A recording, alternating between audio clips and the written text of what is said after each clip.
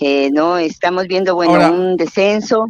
Pero, pero las muertes sí es una cifra, ¿no? terrible. no, ha, convertido a Piura, ha convertido a Piura, no solo a Perú, a Piura, en la región de mayor letalidad del continente. O sea, eh, qué gusto saludarla. Bienvenida a, Exitosa, señora María Lupo. ¿Cómo está? Eh, sí, buenos días, ¿no? Saludándolo, señor este, Manuel, y agradeciéndole, ¿no? Porque es la oportunidad que se brinda también para llegar con información de la región de Piura, ¿no? Este, en estos momentos de crisis sanitaria que, que estamos viviendo. Eh, ¿qué, opinión le merece este informe de la Contraloría que advierte que la Dirección Regional de Salud en Piura, el 2022, el año pasado, destinó cerca de medio millón de soles del presupuesto asignado a la lucha contra, la, contra el dengue para pago de movilidad local del personal administrativo y funcionarios eh, pese a que, por supuesto, no tiene nada que ver con las actividades en el marco de la estrategia de control de dengue, lo que ha afectado la ejecución de actividades de prevención y respuesta para erradicar el transmisor de esta enfermedad. Se ha registrado ya, bueno, hasta ahora 85 muertos. ¿Qué opinión tiene sobre eso? Bueno, no, muy lamentable, ¿no? Aunque ya este, realmente acá en la región de Piura este, es una región que lidera, creo, ¿no? A nivel de todo el Perú, a nivel de lo que es corrupción, ¿no? Entonces, este, muy lamentable, eh, como Federación Médica, como presidenta de la región Piura, eh, junto con el doctor Danilo Salazarori, presidente a nivel nacional, ¿no? Este, eh, estamos detrás en la lucha de la rectoría del MINSA en regiones, justamente por estas situaciones, ¿no? Que, que no solo se, se están, este, ¿no? en la Contraloría que ha sacado a la luz, ¿no? Porque la Contraloría debe sacar a la luz eh, no todo lo la corrupción del anterior este gobierno, ¿no? Del gobierno regional.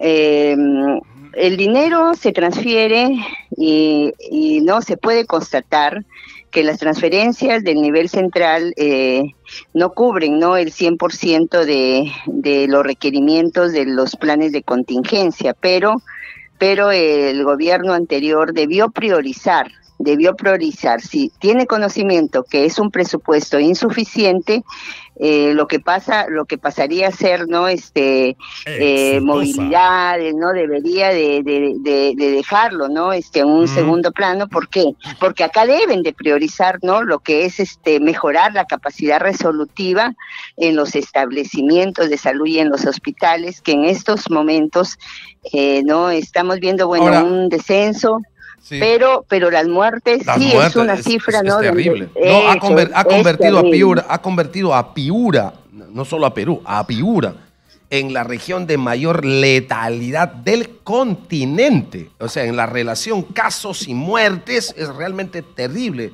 lo que se está mostrando desde Piura al continente, no solo al Perú. Ahora, hay una relación directa vista desde el punto de vista médico, la redundancia, hay una relación entre no haber utilizado los recursos para control aédico, para control vectorial, el 2022, quizá diciembre, con lo que tenemos de dengue ahora, si hubiéramos utilizado los recursos para hacer control vectorial, para eh, eh, fumigar o probablemente abatizar o probablemente hacer recojo de inservibles o lo que fuere, eh, no tendríamos lo que tenemos ahora, doctora. Así es, ¿no? prácticamente la responsabilidad de lo que estamos viviendo en la región Piura este es del gobierno regional este anterior, ¿no? De, de nuestro ex gobernador con todos sus funcionarios, ¿no? Porque eh, hay que prever, ¿no? Hay que prever. Ya desde el año pasado el colegio médico, ¿no? Ya alertaba, ¿no? Octubre, noviembre, ya este, noviembre presentándose ya algunos casos de, de dengue, ¿no? Se alertó, pero nuestras autoridades prefirieron eh, no este pagar no pagar este inclusive en una oportunidad no este se me hizo conocer eh, que que la, el dinero no que estaba quedando como saldo de, de balance del año 2022 que habría que auditarlo ese ese ese saldo de balance no porque eh, ese saldo eh, se me informó que, que se habían cancelado justamente lo que están informando no lo lo de las movilidades no lo de las vacaciones truncas a funcionarios y es lamentable porque hasta las vacaciones truncas les están de, eh, las vacaciones les están debiendo a los trabajadores, les deben luto, les deben sepelio, les deben otros beneficios sociales, horas complementarias que les quedaron debiendo del 2020, ¿no? Y así eh, es eh, eh, no es es inaudito lo, lo, suscitado en el sentido de que nuestros este federados, no médicos, este bueno durante la pandemia dieron dieron no todo su tiempo, ¿no? Y les quedaron debiendo del 2020, 2021, el no el y es y eso pues no es dable, ¿no? Que ahora Contraloría ya esté, ¿no es cierto?, dando un informe que eh, la corrupción, pues, del, del, gobierno anterior, ¿no? Este, eh, ya se estaría confirmando. Ahora, ¿qué hacemos en las circunstancias actuales? Ya sabemos, en todo caso, una de las principalísimas causas, que además explica lo que pasa, por ejemplo, en Loreto. Porque a mí me dice, es que ha llovido mucho por el Yaco y entonces hay dengue. Espérate un ratito. En Loreto ha llovido tres veces más que en Piura y no tienen el caso de dengue. Eh, eh, en Ucayali ha llovido por lo menos entre 20 a 25 veces más que en Piura, porque ahí llueve bastante más y no tienes el caso de dengue. Entonces, ¿cuál es la diferencia? Si aquí hay mucha agua y allá hay mucha agua y acá hay mucho dengue y allá hay poco dengue. Se ha hecho control vectorial. Sin ningún duda, que es lo que corresponde en el marco de una enfermedad endémica con el dengue que tiene un vector que no podemos desaparecer, solo controlar al vector. Eh, pero ya estamos con la situación, digamos que eh, sobre, eh, sobre la realidad. Y estamos con casos de muerte de 85. ¿Qué más se necesita hacer para que la curva siga bajando? Y por supuesto los muertos se eviten, este, doctora. ¿Qué más hay que hacer desde la visión de la Federación Médica en Piura? bueno, no el, el, el, punto crítico que podía identificar es el presupuesto, ¿no? Pero el presupuesto, las transferencias que vienen del, nivel central deben ser fiscalizadas, fiscalizadas. ¿Por qué tenemos en estos momentos, no, este, eh, personas que están detrás de ser alcaldes, de ser gobernadores, no? ¿Por qué?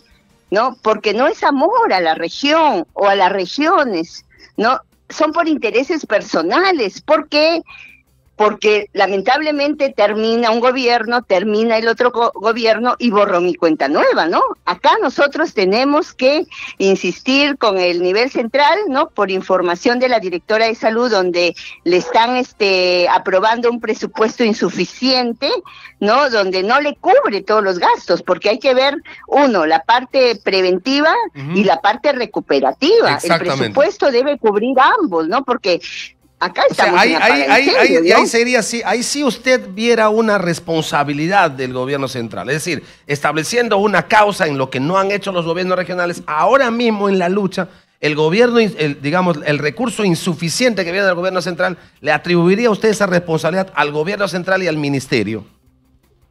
Claro, porque ese, eh, ahí también, ¿no? O sea, tienen que ver este nuestros congresistas, ¿no? Eh, es lamentable, ¿no? Que, ah, que nosotros somos testigos a veces, ¿no? Cuando prendo la televisión, ¿no? Y los escucho, ¿no? Este, defendiendo de repente bonos, ¿no? Para, o aprobándose bonos, ¿no? Aprobándose, eh, ¿no? Este, otro tipo de beneficios donde nuestras autoridades, este, también del nivel central, este, ¿no? Eh, están dejando mucho que desear, ¿no? Entonces, acá la responsabilidad en lo que se refiere al, a lo que es presupuesto es, ¿no es cierto?, tienen que eh, atender el requerimiento de, de, la región y acá de Piura también, ¿no? Porque la directora eh, me ha demostrado que es insuficiente, ¿no? Solicitan 10 millones, les aprueban 2 millones, entonces, ¿dónde? ¿Dónde, en, cuanto a Piura, en cuanto a Piura específicamente, ¿qué es lo que falta? Eh, ¿Recurso humano? ¿Qué falta? Medicinas, qué es lo que falta, este, infraestructura, médicos, por ejemplo, enfermeras, personal,